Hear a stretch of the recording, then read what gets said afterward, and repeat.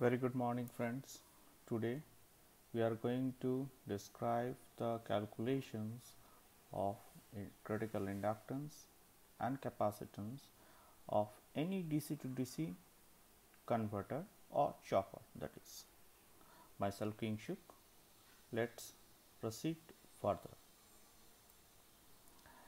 In today's we are going to describe the critical inductance and the capacitance of chopper and we have taken the buck chopper as an example. So, what we will discuss today uh, this brief recap definitely then the calculations of the critical inductance the calculations of the critical capacitance and significance, how they are significant to a buck. Let's proceed further.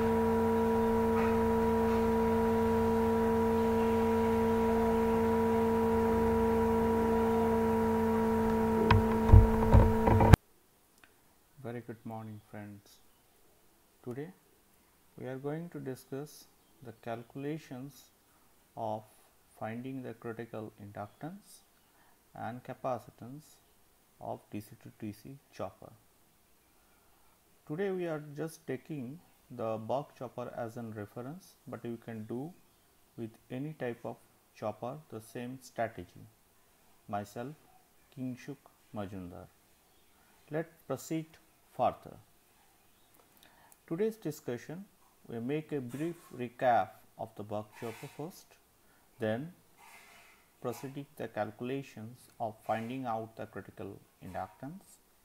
Then we go for the finding out the calculation strategy to the capacitance and try to find out the significance of these two parameters in the choppers and then reference.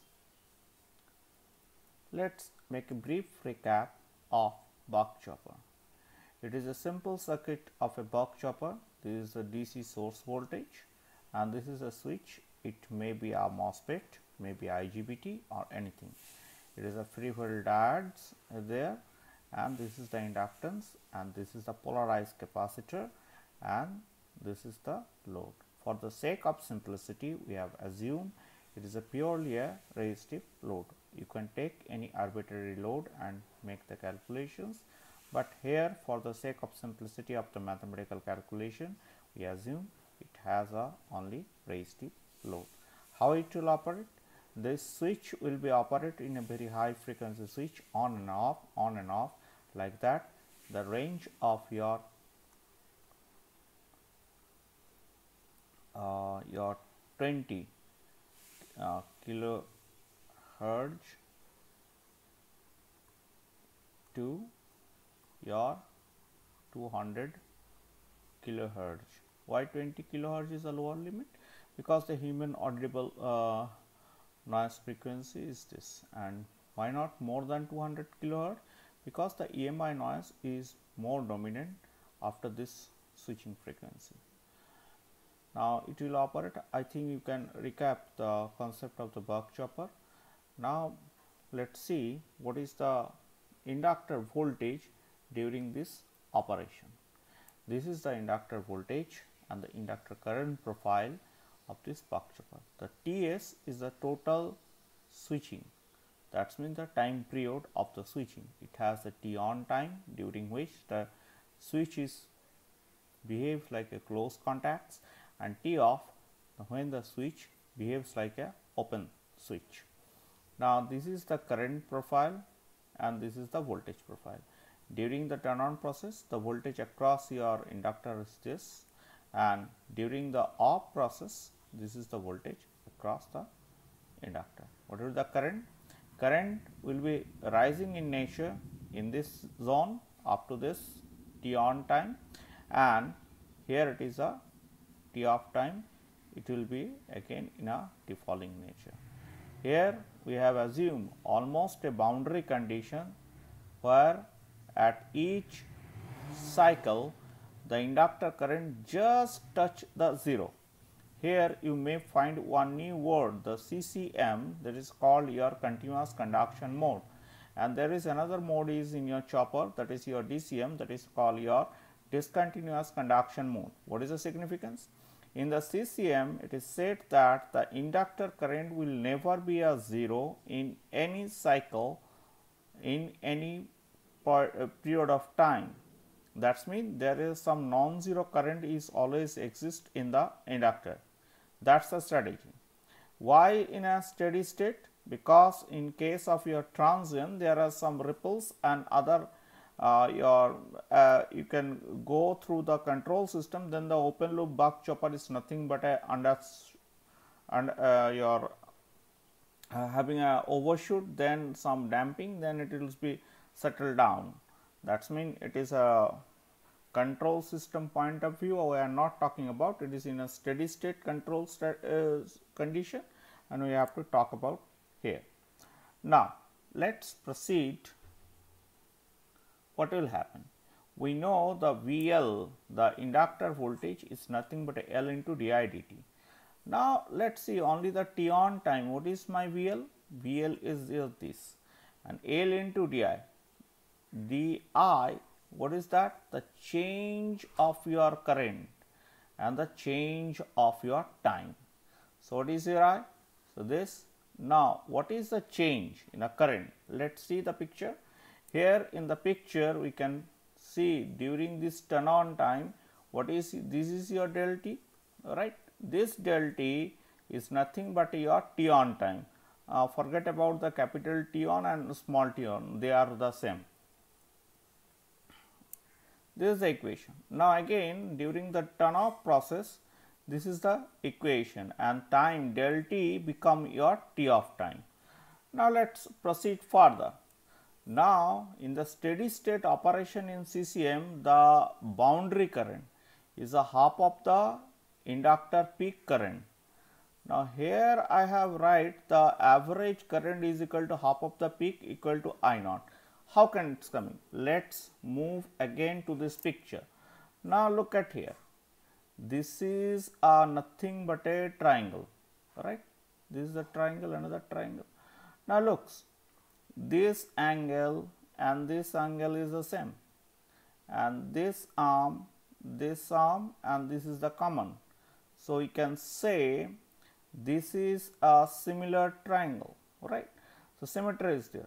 So, we can say this is the midpoint of these two section one. Second thing the height this arm and this arm will be the same.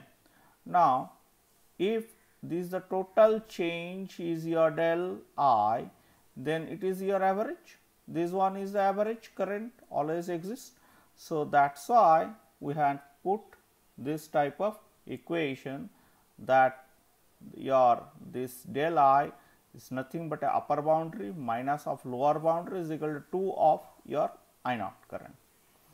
Now, using this equation we can see this is our condition right this is the condition solve it. Now, it is a come to the L. L we have taken as the condition has been implied. So, it is for the calculations of the L critical. So, then you solve it you are getting the R.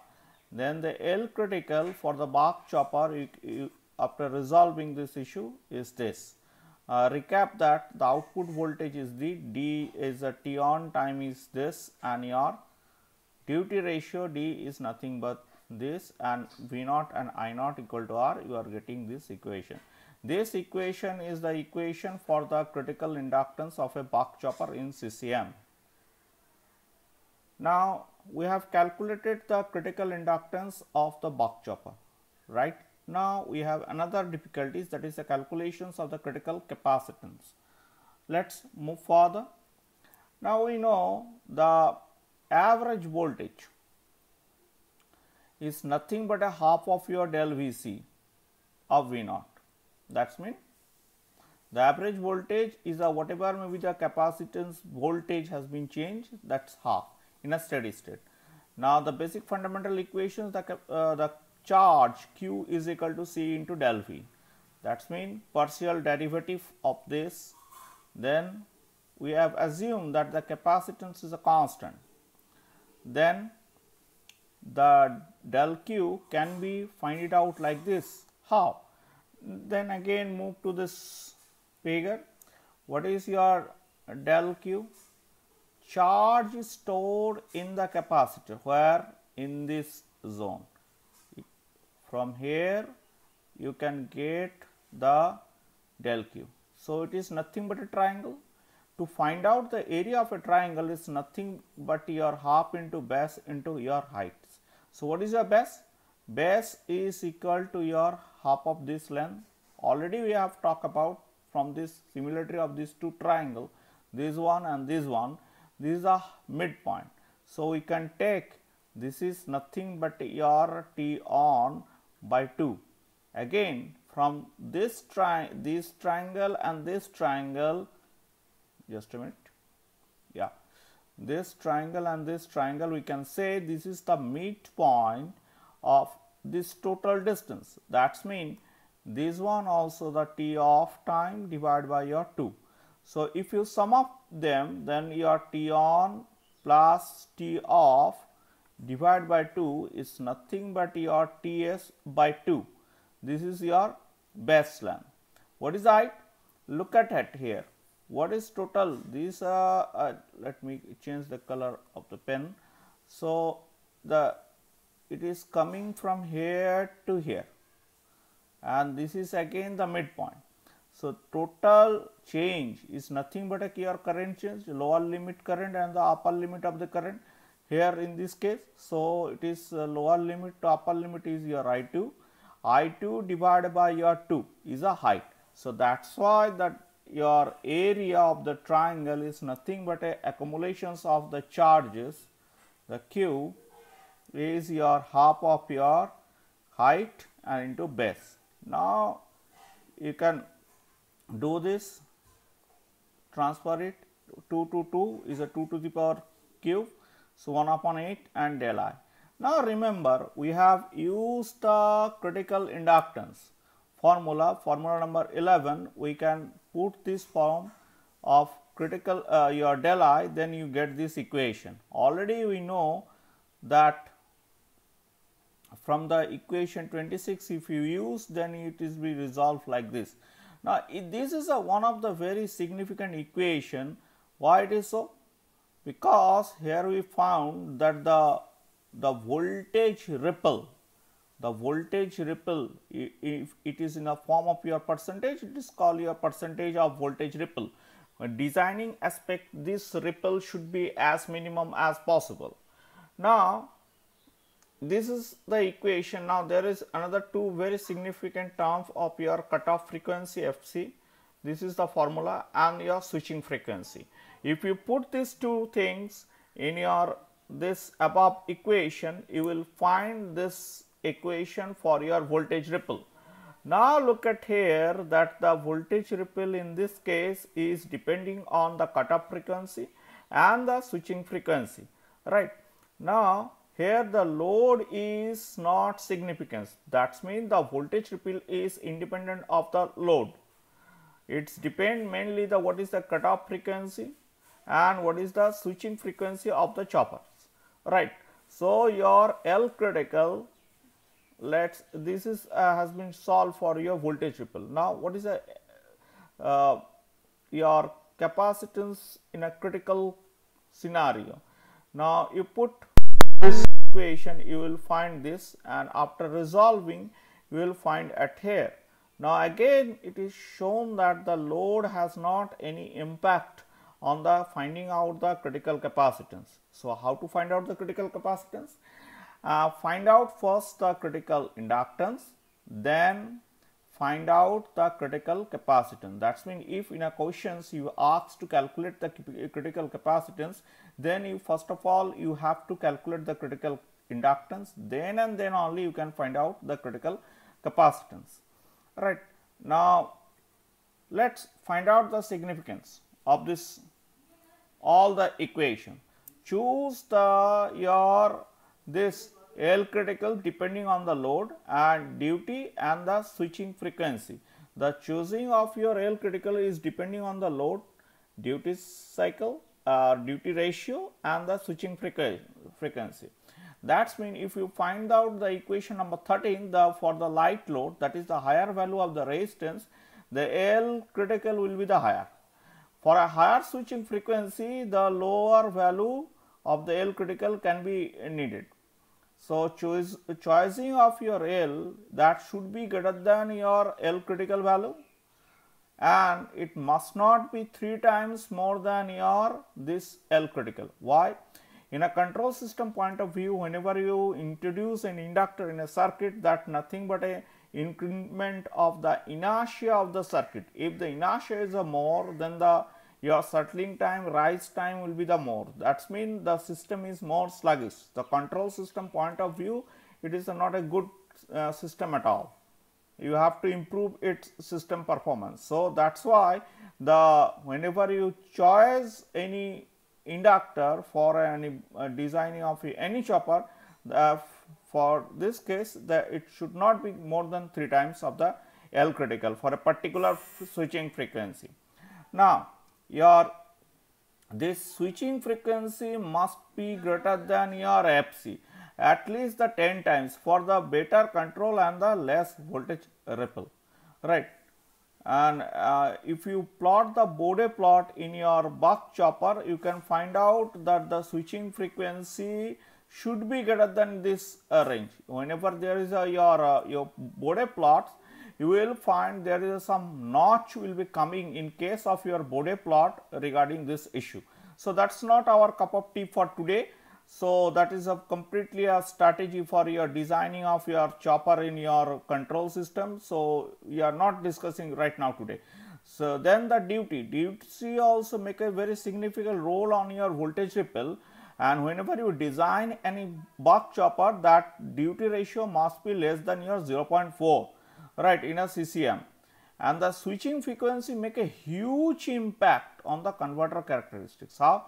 Uh, we have uh, um, create a circuit in your LT spice and we have observed two different switching frequency. One is at your 5 kilohertz another same circuit is observed the response of the your 150 kilohertz and this is this simulations has been done through your LT Spice free uh, open source uh, freeware software and you can download the this executable file or this particular file from this GitHub's uh, link. Now, come to the response of this uh, circuit. Now, it is observed clearly look at here the blue line is for 150 kilohertz whereas the green is for your 5 kilohertz. Now look the same circuit is having a lot of oscillation, a lot of oscillation, a lot of oscillations whereas the blue lines 150 kilohertz is less a very less amount of oscillations among itself right. So this is the scenario. So if someone is interested can go to the your GitHubs and download those file and enjoy the circuit uh, simulation or do can uh, you can do by your own now, these are the books you can prefer and I am preferably the Ned Mohan books. It is a Bible of your power electronics and also you go for the Rashid books and for those who are in uh, looking for the GATE exam only. So, they can also go for the P.S. Bimbhra book. Thank you for today's uh,